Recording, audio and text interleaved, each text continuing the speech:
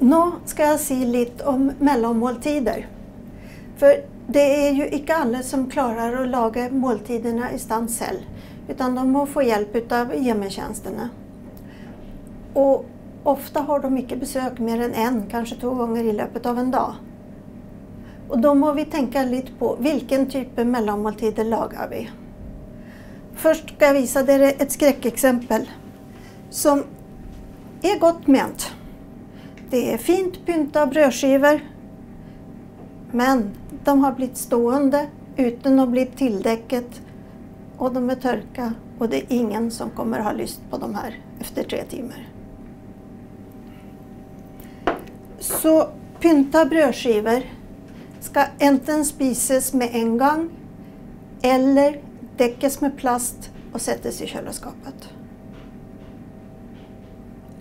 Utav andra ting som helst bör spises med en gång så är det sånt som smoothies, eh, milkshake, färdig, eller desserter i stil med tillslörta bonnepikor.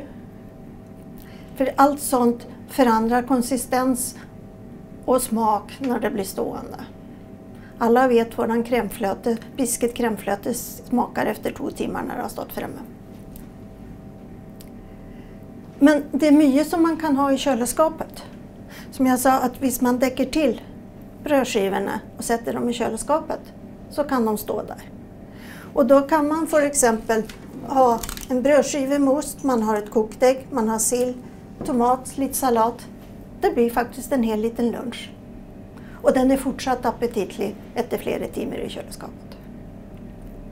Andra möjligheter är sånt som man köper helt färdigt i butiken finns rislunch och nu har det också kommit bygglunch. Och bygg innehåller då många fler näringsstoffer än vad kokt ris gör.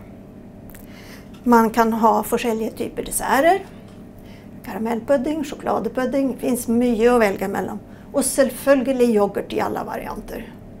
Och morgonyoghurt med och utan müsli och vanliga yoghurter. Men det är inte alla som klarar att gå till kylskåpet själv någon är bunden till sin stol eller de är sängliggande. Så ska de få någon mellanmåltid så må det vara Noe som kan stå på bordet vid sidan av dem. Och på det bordet är det då inte bara maten. Där är blader, aviser, fjärrkontroller, pennor, mediciner, dricke. Så för att man ska finna maten i den där roten, icke lägg fram hela bullpåsen ta ut en eller två bollar. Lägg det samman med lite frukt, någon törre kex, för exempel en paket läfse. Och det kan stå och det går att finna bland allt det andra på bordet. Andra möjligheter som också kan stå framme det är törket frukt. Det är blandat nötter och törket frukt i olika varianter. Eller helt man, valnötter, aprikoser, rosiner.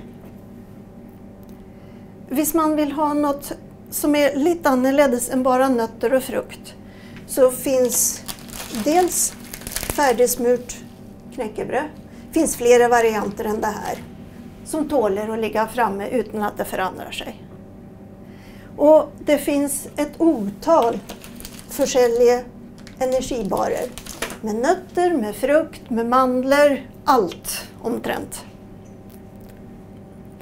Visst man är lite rörlig så kan man faktiskt, även om man sitter i stol, laga till rätt i koppen super. Man kan laga sig en portion gröt. Det allra enklaste är ju att bruka en sån här som bara är att hälla hett vatten i. Så har man en termos med hett vatten vid sidan av så kan man alltså få sig ett litet måltid som är nylaget. Det som också finns via storhushåll är en serie som Tine och Haukeland sjukhus har tagit fram som heter E+. Det är, kall det för milkshake eller och yoghurtvarianter med smak men med mycket mer energiinnehåll och berikat med vitaminer. Ja, men när man snackar om snacks så snackar man också gärna om saltenötter i många olika varianter. Och om vi ska återknyta till Sverre och hans kostregistrering så kom det fram i en bisättning efter vart att jo, att i löpet av de där fyra dagarna så hade han ju spist en sån här påse. Så han hade ju fått i sig lite mer energi än det han sa. Därför att i den här posen är det mer energi än vad han tränger i löpet av en dag. Det ger han också en del proteiner, ja. Men det ger han också mycket salt. Och eftersom han är hänvisad till att bruka färdigproducerade varor så får han nog salt lika väl utan att få det extra som han får utav de salta nötterna.